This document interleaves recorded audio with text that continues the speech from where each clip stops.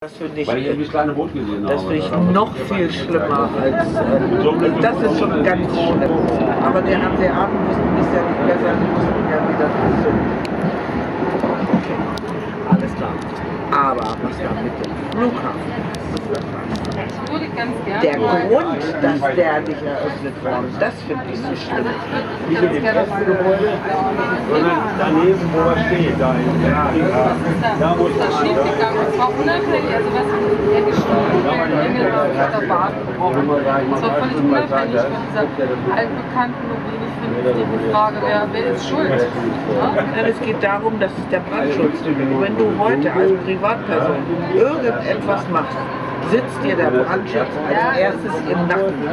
Und dann, und dann setzen die da Leute hin, die in keinster Weise irgendwo professionell sind. Ja, die müssen doch, müssen doch alle im Kopf und